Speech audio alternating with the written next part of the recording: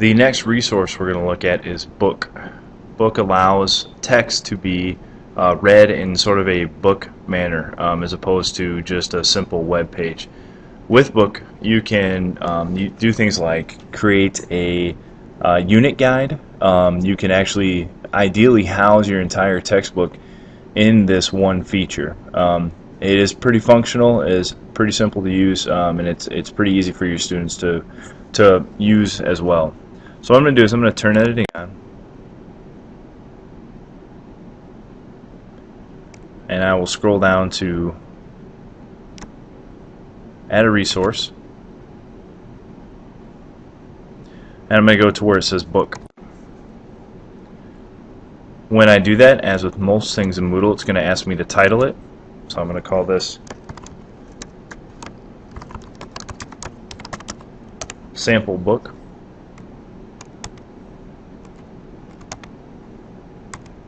Go ahead and copy and paste it there. Uh, we're not going to do anything with the chapter numbering at this point. I'll save and return to course.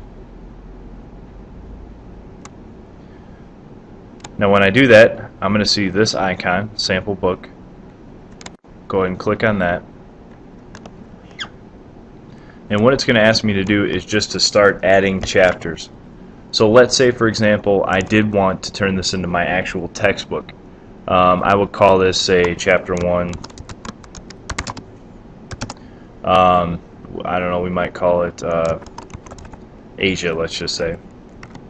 Now, in this section I can uh, put information. It can be as simple as a paragraph, copy and paste it from Word. Um, it can be pictures, it can be web links. So the more time I spend with this, the more elaborate I can make this this book. Um, so I could have uh, theoretically everything that's in my textbook in that chapter in here in this feature. Uh, the nice thing about that is that there's really two nice things about that. One is I've now taken uh, a textbook which is really um, words and pictures on on pages and turn it into something that can be quite interactive. Uh, the second nice thing about that is it's housed right here in the unit that I've created in Moodle as opposed to having a textbook which is uh, somewhere else. Um, so I'm going to go ahead and just add some text.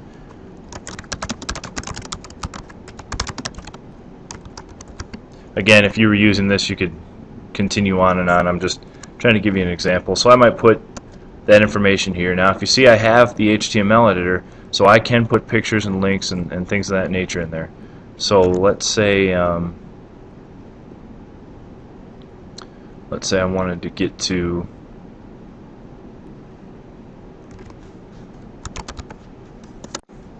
just again as, as an example here. I might go to the wiki page on Asia.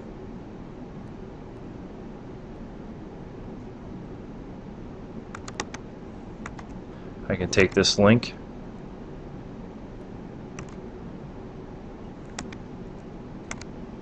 Paste it in there like so. Um, I can go get a picture in much the same way as I did before. I already have this Asia picture in here, so I'm just going to go ahead and use that.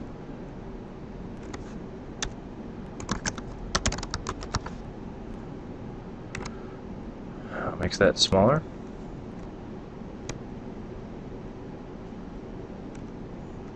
So theoretically, I could have this picture up here, have all the text and definitions and all that kind of stuff that I wanted to have about Asia here as well. I can even link this. We haven't uh, gone through this yet, but I can link this to the glossary that my students create. So instead of uh, seeing a, a, word in a textbook and having the students go and look it up in the back or use an index or something like that, I could just have it link internally um, to where they would see uh, perhaps another student's uh, glossary entry on that.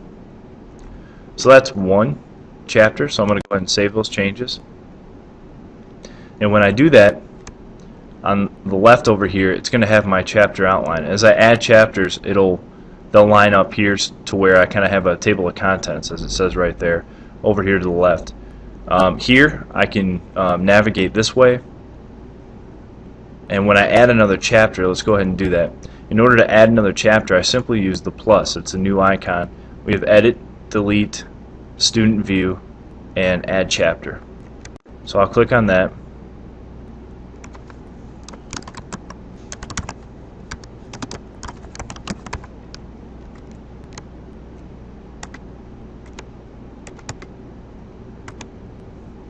And again, I could add pictures and links and so on and so forth. Now I've got chapter 1 here, chapter 2 here, and if I want to go, right now I'm on chapter uh, 2. If I want to get back to chapter 1, I just click this back button. So it kind of looks like a book. Um, page 1, page 2, so on and so forth. I'll just add a another page here just for perspective.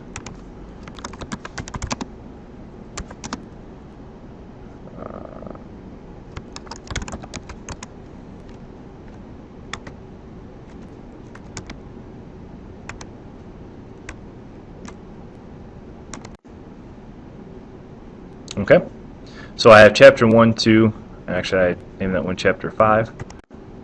Again, if you make mistakes, you can go back and edit it pretty easily just by clicking on that edit button.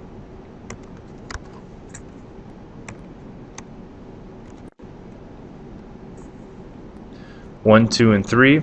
Here's chapter three. I can get back to chapter two by clicking back, chapter one by clicking there. I can also navigate just by clicking on the chapters if let's say I, have changed my mind, I want the Americas to be um, before the Europe chapter, I can use these black up and down arrows and it'll move those around like so.